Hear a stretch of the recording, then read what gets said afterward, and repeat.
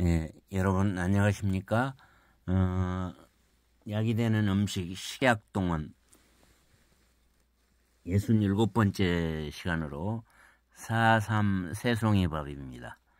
예, 폐의 기를 잘 통하게 하고 소화를 도우며 어, 간장을 안정시키는 효능이 있으며 어, 정신을 맑게 합니다.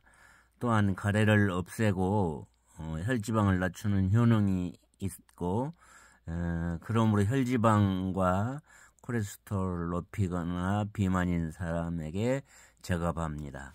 어, 식재료는 4인분 기준으로 어, 쌀 50g, 성이버섯 2개, 물 650g, 약재료는 사삼 두 뿌리, 은행알, 은행 열알 정도, 양념장으로는 간장 진간장, 다진 파, 다진 마늘, 참기름, 깨소금 이렇게 어, 고춧가루 필요합니다.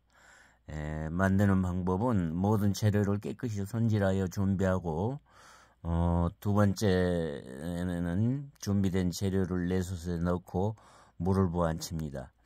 그 다음에 네 뚜껑을 닫고 번치와 압력 뚜껑을 결합합니다. 메뉴는 보양밥을 선택하고 시작 버튼을 누르면 됩니다. 완성되면 밥을 상하 골고루 잘 섞은 후 담아냅니다. 에, 이것을 이제 사진으로 보시면요. 어, 재료 준비하고 내솥에 넣고 물 붓고 이제 완료 완성되면은 이런 밥이 됩니다. 에, 에, 지금 보시는 큰 사진은요. 어, 4.3 새송이 새송이 밥으로 어, 은행알이 이렇게 보이죠. 여러 가지 삶도 보이고 아주 멋있어 보입니다.